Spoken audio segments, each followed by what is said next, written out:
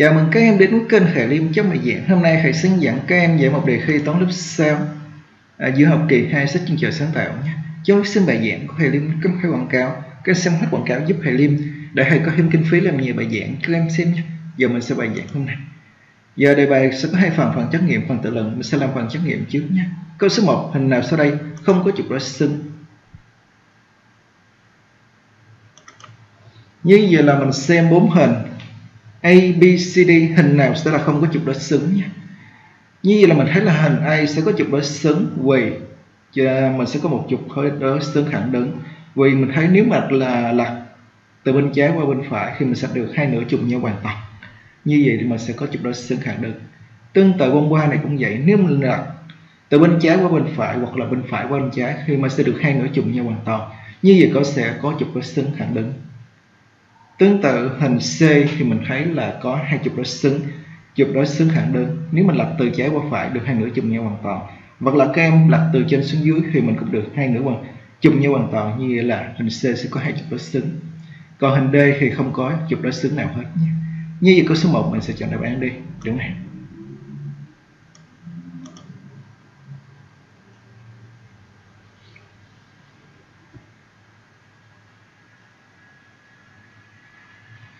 Tiếp theo là câu số 2, phân số nào không bằng phân số âm 1 bằng 2. Như mình sẽ có phân số âm 1 bằng 2 thì mình thấy là tự âm mẫu dương, đúng không? Nên phân số này gọi là phân số âm. Đáp án A thì 2 phần 4, 2 phần 4 thì mình thấy là tự dương mẫu dương. Nên phân số này chắc chắn là không bằng phân số âm 1 bằng 2, đúng không? Như vậy câu số 2 mình chọn đáp án A, đúng không? 2 phần 4 chắc chắn là không bằng âm 1 bằng 2. Còn âm 3 phần 6 thì mình thấy nếu mình rút gọn chia tử vào mẫu cho 3 thì được là âm 1 phần 2. Còn 6 phần âm 12 nếu mình chia tử vào mẫu cho âm 6 thì được là âm 1 phần 2. Tương tự câu D là 5 phần âm 10 thì mình sẽ chia tử vào mẫu cho âm 5 thì được là âm 1 phần 2. được này.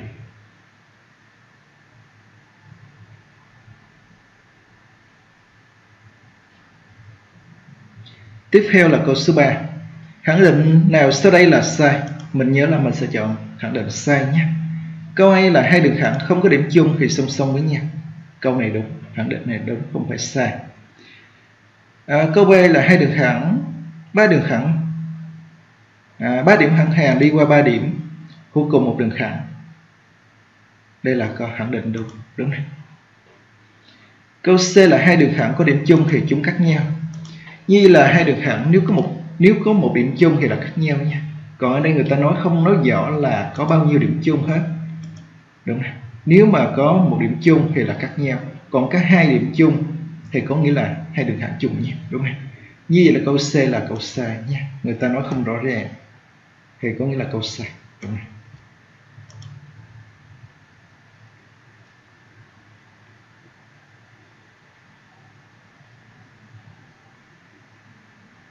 Giờ tiếp theo là câu số 4 cho hình quẻ sao mình sẽ có hình tam giác đều hình cánh quạt hình trái tim và hình cánh diều người ta hỏi là có bao nhiêu? À, hình có tâm đối xứng. Như vậy là mình nhớ là muốn tìm tâm đối xứng ví dụ tâm ở giữa. Thì mình lấy một điểm này mình xoay qua 180 độ. Đúng không nhưng mà điểm này xoay qua 180 độ thì nó sẽ ra đây. Như vậy tâm giác đều không có tâm đối xứng. Hình cánh quẹt thì có nè. Ví dụ tâm đối xứng là chỗ này thì mình lấy điểm này mình xoay 180 độ qua điểm này. Đúng không lấy điểm này xem trăm tám độ qua điểm này, mình thấy là nó có độ xứng.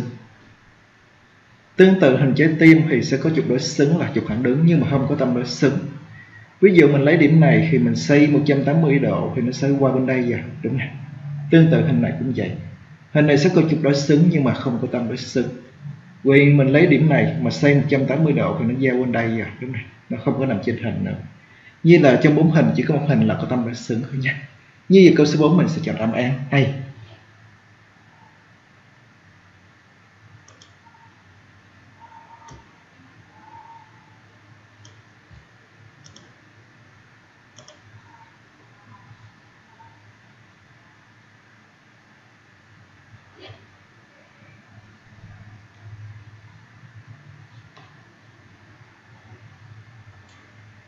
Giờ tiếp theo là câu số 5 Tính chất nào sau đây không phải là tính chất của phép cộng. Giờ mình nhớ là mình sẽ chọn không phải là tính chất, không phải là tính chất của phép cộng như đáp án A là tính giao chất giao quán thì mình thấy là phép cộng có tính chất giao quán tính chất cộng với số 0 có, tính kết hợp có, nhưng mà không có tính chất cộng với số 1 nhé. Như vậy câu D, câu số 5 mình chọn đáp án D.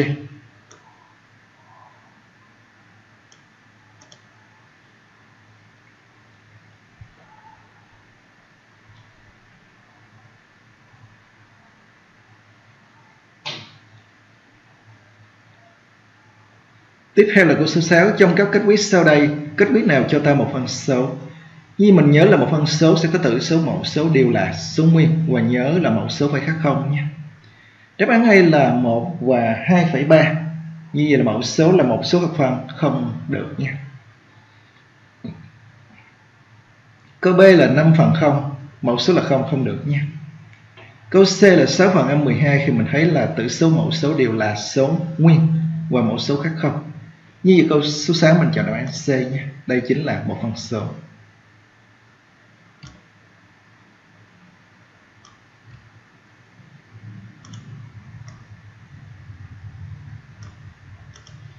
Giờ câu D khi mình thấy là tử số mẫu số đều là số hợp phân là không được nha. Như vậy là mình xong phần trắc nghiệm nha. Giờ phần trắc nghiệm có em nào có kết quả giống thầy. Các em có thể bấm hết video, thầy biết là các em làm đúng nha.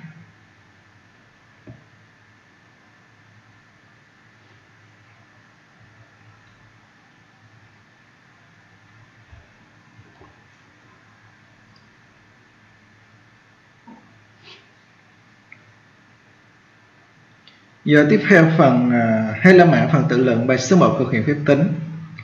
Như ở đây có phép chia phép nhân. Như vậy mình sẽ mình nhớ là nhân thì tử số nhân tử số, mẫu số nhân mẫu số. Phép chia mình sẽ biến thành phép nhân và đảo ngược phân số. Thứ hai có nguyên phân số phía sau dấu chia. Đúng không? Giờ thầy sẽ làm à, câu bài số 1 câu A trước nhé.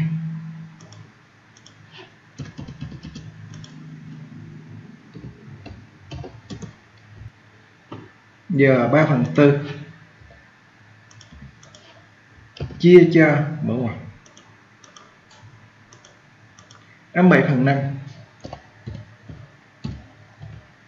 nhân cho âm 3 phần 2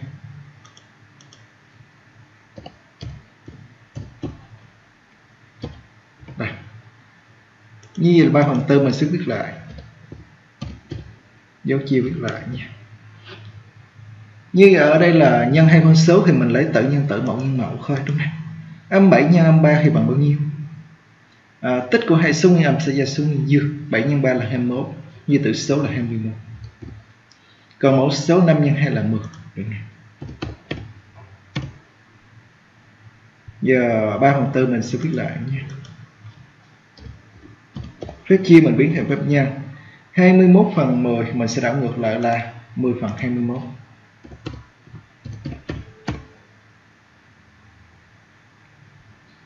giờ nhân hai phân số thì mình sẽ lấy tử nhân tử mẫu nhân mẫu. 3 nhân cho 10 là 30 à, 4 nhân cho 21 thì được 80 84 đúng này giờ giờ, giờ mình sẽ rút gọn nhé mình thấy là tử mẫu sẽ chia hết cho bao nhiêu? Tử mẫu sẽ chia hết cho 6 đúng nè à, 30 chia 6 thì được bao nhiêu? 30 chia 6 thì được 5 còn à, 84 chia 6 à, 8 chia 6 được 1 à, 1 nhân 6 là 6 8 chia 6 được 2 24 24 chia 6 được 4 như kết quả là 14 như kết quả là 5 phần 14 nha. Đúng này giờ mình sẽ làm câu B. Mình sẽ viết lại cái đề trước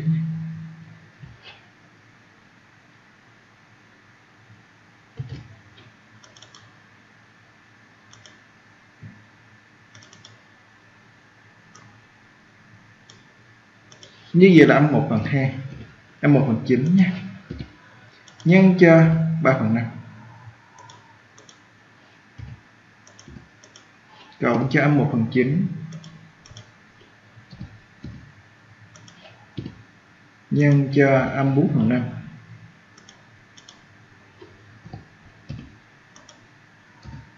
trừ cho 1 phần 9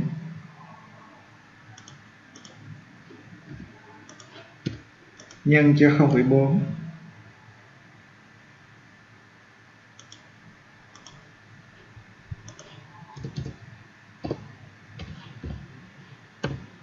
giờ như vậy là mình sẽ viết lại nha. F1 phần 9 viết lại.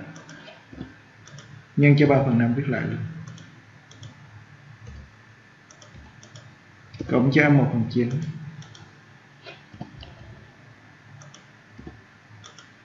nhân cho âm 4 phần 5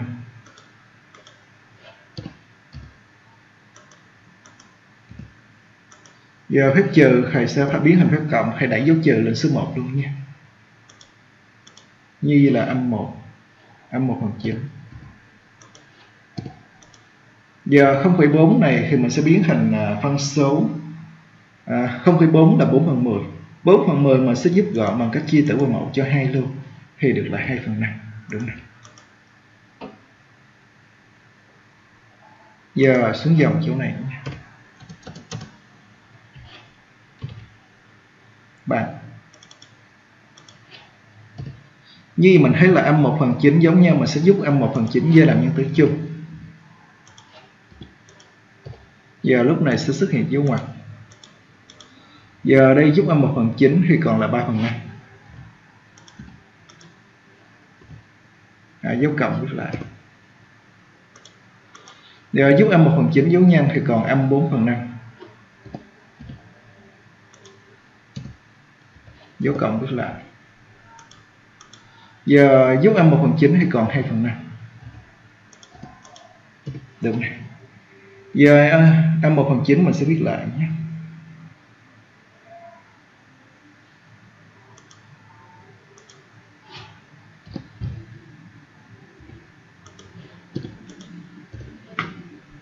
Giờ ở đây mình thấy là có phép cộng các phân số của cùng một số. Thì mình sẽ lấy tử cộng tử giữ nguyên mẫu à, 3 cộng 2 là 5 5 cộng cho âm 4 thì được 1 như là 1 phần 5 giờ đây là phép nhân hai phân số thì mình lấy tử nhân tử mẫu nguyên mẫu âm 1 nhân cho 1 là âm 1 à, 9 nhân 5 là 45 như kết quả là âm 1 bằng 45 đúng không? Giờ như là mình xong bài số 1 nhé bài số 1 các em nào có kết quả giống thầy? Các em có thể bấm hết video thầy biết các em làm đúng nha.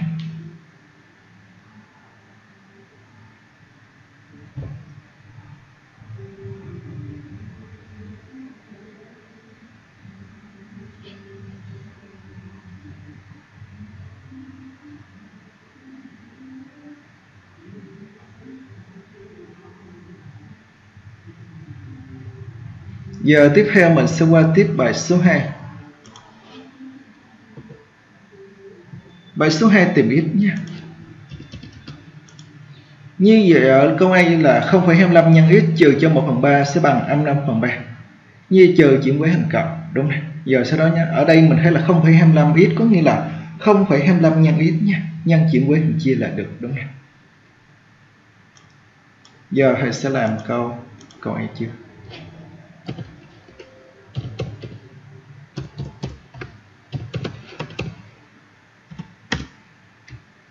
Câu anh trước mình sẽ viết lại cái đề.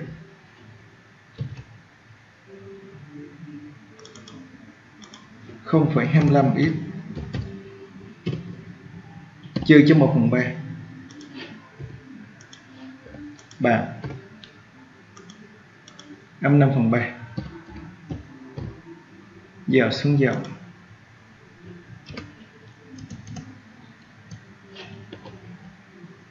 giờ 0,25 biết mình sẽ viết lại.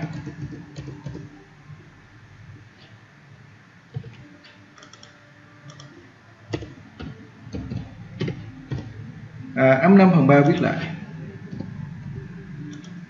Giờ chờ chuyển với hình cộng. À, cộng 1 phần 3 viết lại. Giờ xuống dòng 0,25 x viết lại. Như vậy đây là phép cộng hai phân số cùng mẫu số mình lấy từ cộng tử dương mẫu. Âm 5 cộng 1 là âm 4, như kết quả là âm 4 phần 3. Đúng không? Giờ như vậy là nhân chuyển với hành chia nha. Ở đây không có dấu thì mình hiểu là dấu. dụ nha. Như x sẽ bằng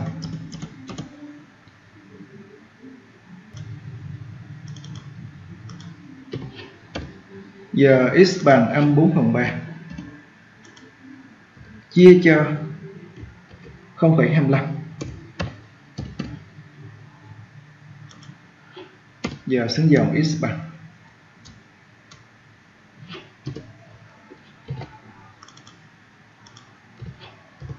Âm 4 phần 3 viết lại. À, chia thì mình sẽ biến thành thành nhân ở đây thầy sẽ biến đổi một chút chỗ này cho các em hiểu nhé cái chia mình sẽ viết lại nhé 0,25 thì mình sẽ biến thành phân số chính là 1 phần tư. Đúng không? thì 1 phần tư chính là 0,25 giờ phép chia thì mình sẽ biến thành phép nhân nhé đúng nè. Chia thay đổi thành phép nhân nhé giờ 1 phần tư thì đảo ngược là 4 phần 1 luôn. Đúng này như vậy có nghĩa là chia cho 0,25 có nghĩa là mình sẽ lấy số đó nhân cho 4 đúng này giờ cuối cùng x bằng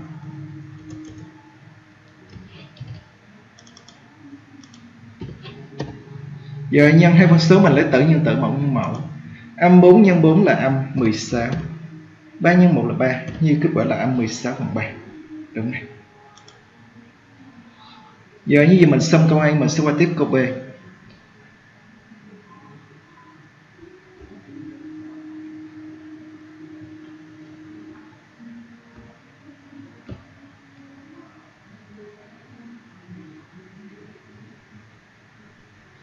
giờ câu B.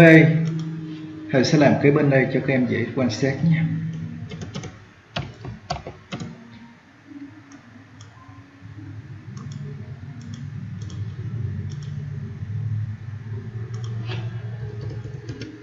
giờ thầy sẽ viết lại cái đề.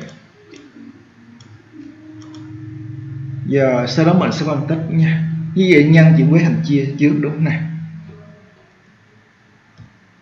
giờ xuống dòng. Như vậy là cái trong dấu ngoặc mình sẽ giữ nguyên. Đúng không như vậy là 2 phần 3 x cộng 1 phần 2 mình sẽ giữ nguyên nha. Nhân chuyển với hình chia pha. Giờ như là 2 phần 3 x mình sẽ viết lại. Cộng cho 1 phần 2 viết lại. 3 giờ số 3 viết lại nha. Nhân chuyển với hình chia. Chia cho âm 5 phần 6 đứng này.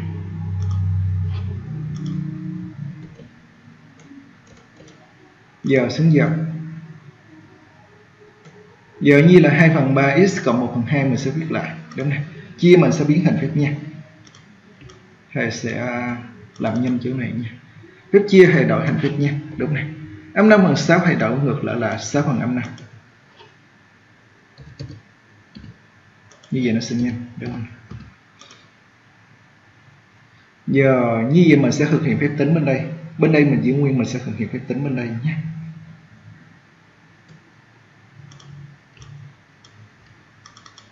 Như vậy là 3 mình sẽ lấy 3 nhân 6 giữ nguyên là âm 5 đúng không? 3 nhân 6 thì bằng bao nhiêu? Thì bằng 18 như vậy kết quả là 18 phần âm 5 đúng không? Giờ bây giờ mình sẽ viết là là 2 phần 3 x thì giữ nguyên, cộng chuyển với thành thành trừ, đúng không?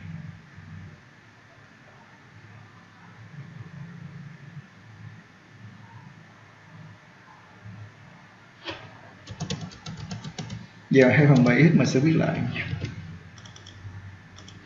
2 phần 3x viết lại. 18 phần âm 5 hãy đẩy dấu trừ lên trên luôn nha. Để cho mẫu số dương dễ tính hơn. Đúng không giờ cộng chuyển với thành thành trừ trừ 1 phần 2 đúng này giờ xuống dòng tiếp.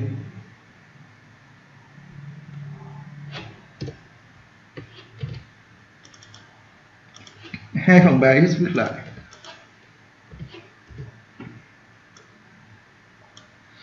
Giờ, đây là phép trừ hai phân số khác, mẫu số mình sẽ quy đầu mẫu số, đúng không mình sẽ chọn mẫu số chung chính là 10 như vậy là âm 18 phần 5 mình sẽ nhân tử vào mẫu cho 2 còn 1 phần 2 mình sẽ nhân tử vào mẫu cho 5 nha.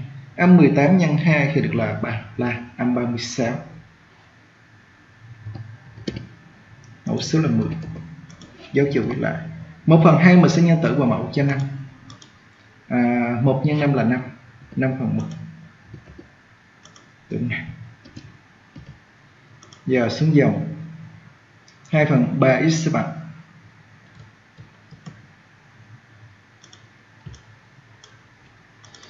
Như vậy đây là phép trừ hai phân số thì mình lấy tử trừ tử giữ nguyên mẫu. Âm 36 mà trừ cho âm 5 thì được bao nhiêu?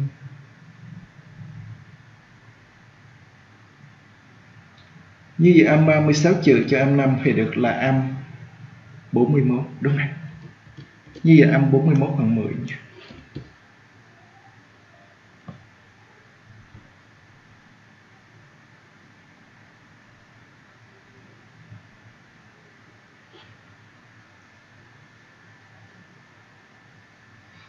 giờ xuống dọc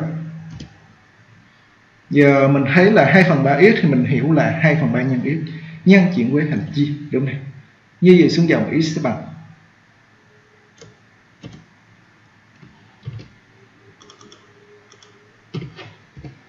như vậy là âm 41 phần 10 mà sẽ viết lại. Giờ như x chia 2 phần 3 đúng này giờ chia thì mình sẽ biến thành phép nhân, đảo ngược, đúng này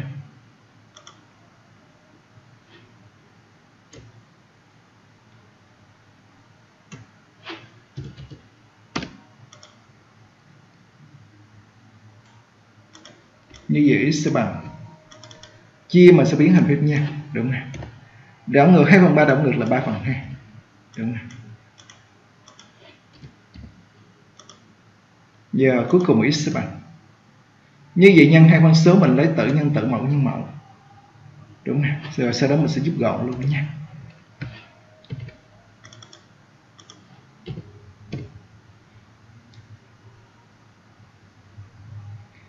Như vậy âm 41 nhân 3 thì được là bao nhiêu? 3 nhân 1 là 3, đúng nè. Giờ 3 nhân 4 là 12, 132. À, 10 nhân 2 là 20, đúng nè. Dấu âm biết lại nha.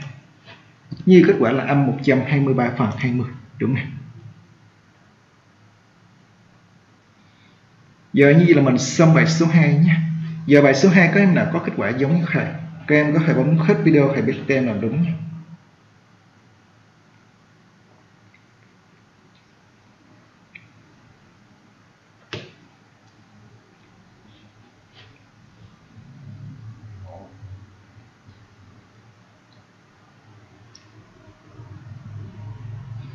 Giờ như là mình xong bài giảng hôm nay nha. Phần còn lại của đề thi thì sẽ làm video bài giảng kế tiếp các em nhớ nấu xem nha. Như giờ mình xong bài giảng hôm nay nếu các em thấy giảng giới thiệu bấm thích và chia sẻ video này cho bạn bè cùng xem. Các em có thể chia sẻ video này cho bạn bè cùng lớp và các bạn bè hàng sớm nhé càng nhiều bạn xem càng vui.